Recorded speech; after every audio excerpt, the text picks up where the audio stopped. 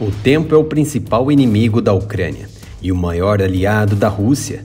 Nesta dimensão, Kiev luta contra o tempo para tentar equiparar suas forças armadas com o que há de mais moderno no cenário militar do Ocidente para ajudar sua campanha de contra-ataque contra as tropas russas, que mostram também resiliência, força e mais aparelhos de guerra no beligerante ucraniano.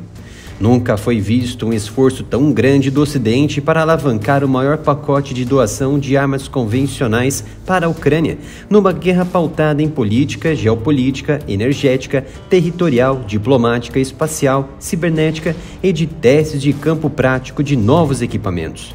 O primeiro equipamento da lista não poderia ser outro: os formidáveis blindados de batalha pesado principal britânico Challenger 2, que entrou em serviço com o exército britânico em junho de 1998 e o último dos 386 blindados foi entregue em abril de 2002.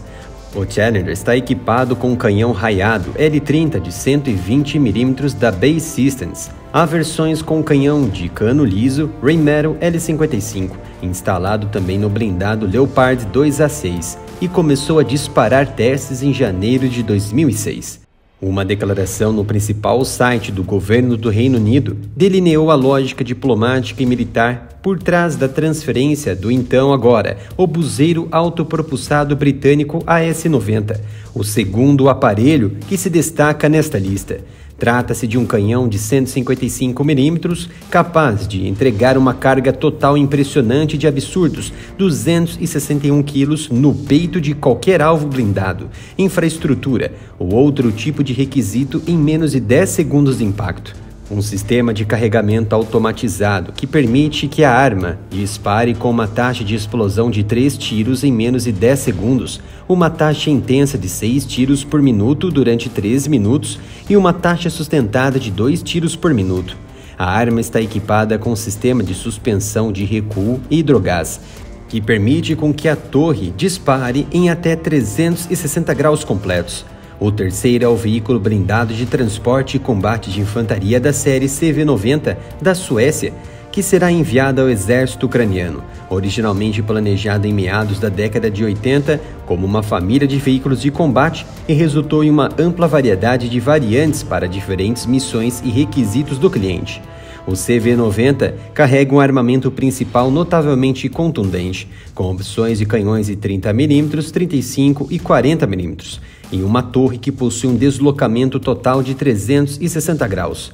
As suas principais funções é caça-tanque e apoio de infantaria e cavalaria para acompanhar as forças terrestres ucranianas em movimento rápido e oferecer mobilidade, letalidade e capacidade de sobrevivência superiores.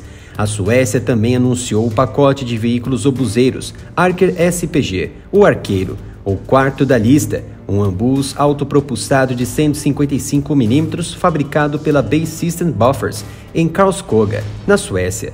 É totalmente autônomo e pode ser usado em apoio de fogo de guerra tradicional, bem como em missões internacionais mais modernas de manutenção da paz e imposição da paz. Seu alcance está na casa de 40 quilômetros, usando a munição padrão atual e um alcance de 60 km com as munições M982 Excalibur. Já a França optou pelo envio do veículo blindado de reconhecimento e de combate na função também de caça-tanque AMX-10RC, um blindado leve sob rodas altamente móvel, equipado com poderoso canhão principal de 105 mm, capaz de cobrir apoio de fogo e intervenção rápida, apesar de ser considerado um caça-tanque. No entanto, não é mais eficaz contra os blindados de batalha principais mais modernos mas ainda pode efetivamente envolver veículos blindados, edifícios, fortificações e campo e outros alvos, sendo o quinto armamento da nossa lista. O YouTube segue reduzindo o engajamento e monetização de muitos canais, como o nosso, o Área Então peça sua ajuda com qualquer Pix para nossa chave, canal Para empatar com o envio dos AMX-10RC francês, a Alemanha anunciou envio também de blindados caça-tanque reconhecimento, sendo o veículo Marder provavelmente do arsenal de reserva da nação, o sexto aparelho a ser enviado. O Marder é um veículo formidável, quase semelhante a um blindado leve, mas armado com um canhão de 20 mm montado externamente e uma metralhadora coaxial de 7.62 mm sobre uma torre de dois homens. A blindagem da superestrutura do casco é bem inclinada para adicionar proteção. Claramente é um aperitivo alemão para não enviar seus poderosos Leopard 2. No início deste mês, os Estados Unidos anunciaram 3,75 bilhões de dólares em nova assistência militar para a Ucrânia e outros aliados e parceiros europeus, incluindo uma retirada de 2,85 bilhões dos estoques do Departamento de Defesa dos blindados Bradley, a serem fornecidos imediatamente à Ucrânia. Muito provavelmente seja a versão Bradley M2A2, um veículo blindado médio cuja função principal é fornecer transporte protegido para esquadrões de infantaria em contato próximo com o inimigo. Quanto ao poder de fogo do nosso sétimo equipamento da lista, o Bradley M2 está armado com uma torre de dois homens equipada com uma metralhadora Bushmaster de alimentação dupla de 25 mm, que pode disparar cartuchos perfurantes e de alto explosivo. E para agregar a sua função antitanque, possui o lançador de míssil guiado por fio, lançado por tubo, BGM-71, carregado com dois mísseis, atingindo alvos até 3 km. O oitavo equipamento da lista é o obuseiro autopropulsado FH-70, originado a partir de um consórcio internacional. A artilharia é um elemento chave para as forças armadas ucranianas combaterem as forças russas e apoiarem os soldados ucranianos durante as contraofensivas. Nas Forças Armadas Russas, a artilharia é um dos principais elementos para conduzir as operações de combate e atingir as posições inimigas.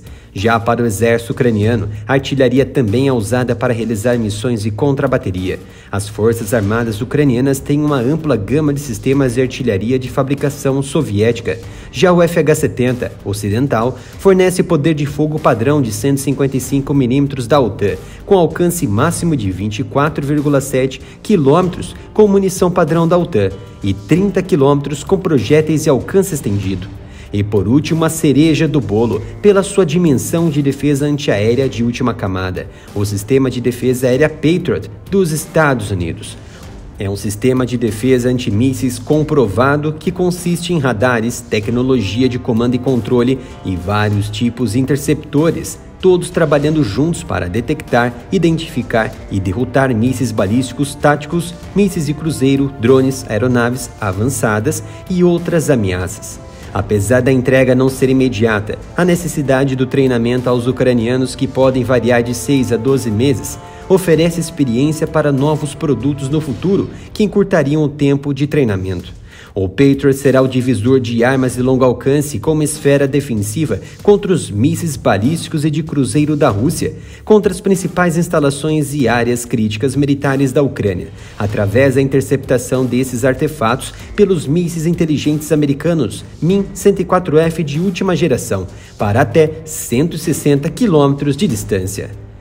Conto com a sua ajuda com qualquer Pix para o nosso canal através da chave canalaramilitaroff.gmail.com. Isso vai ajudar o nosso trabalho diário aqui no YouTube.